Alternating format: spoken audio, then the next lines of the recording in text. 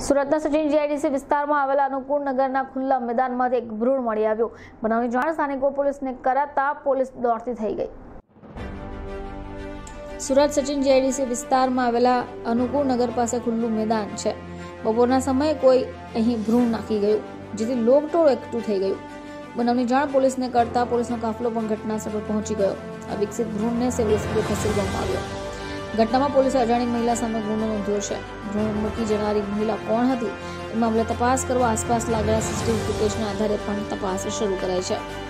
લોકોએ આવી મહિલા સામે ફિટકાર પણ વરસાવી છે.